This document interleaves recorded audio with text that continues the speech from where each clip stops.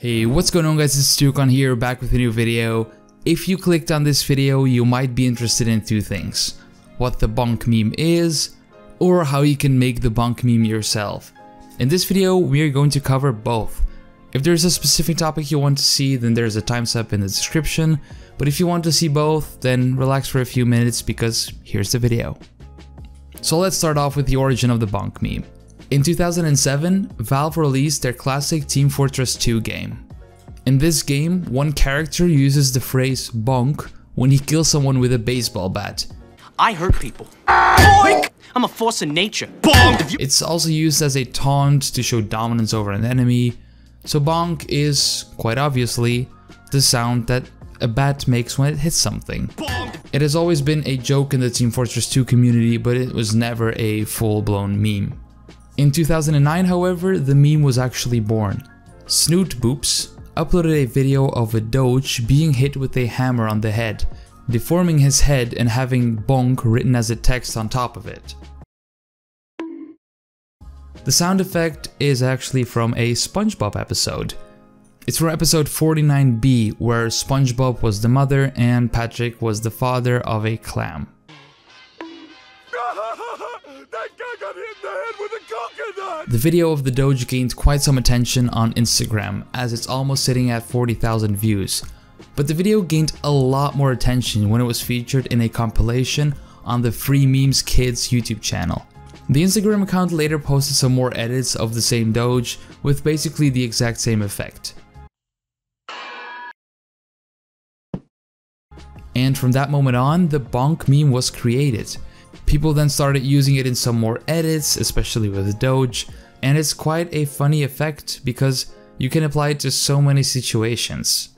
The meme saw some mainstream attention when Snapchat added a filter, allowing users to make the bonk effect without any editing software. This is also the first way you can create the bonk meme yourself. You just open up the Snapchat app, hold down on your phone for one second.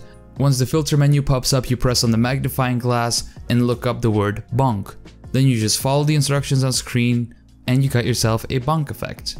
Of course, that's the easy way out, but you can also use Photoshop if you don't have a video or just want to be original. Here's Editor Toucan explaining that part. Alright, so it's Toucan at Photoshop here.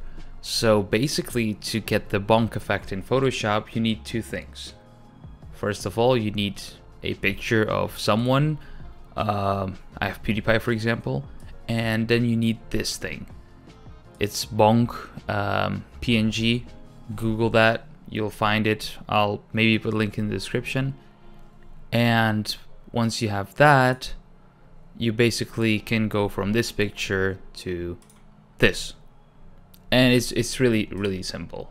So let me remove these two layers. Nope, not this layer, this layer, this layer gone, this layer gone. Okay, so let me delete them. So basically you have two layers. First of all, you put the bonk layer on top. For the second layer, you will go to filter, liquify, and in liq oh, I'm in the wrong thing. Here, filter, liquify. Here we go. And then the first thing you would have to do is choose your forward warp tool. Make the size big enough so you can actually drag the head down like this. And then you simply drag the head down. Of course this looks like a bonk but it's not enough yet. So what we do then is use the bloat tool. And we also make that a bit bigger in size so it fits the head. And we inflate the head a bit like that. And what we do then is use the forward warp tool again, make it smaller this time, because it's 50, and then just put the eyes on the sides or move the nose up a bit, move the mouth down a bit, make the ears go warpy warpy.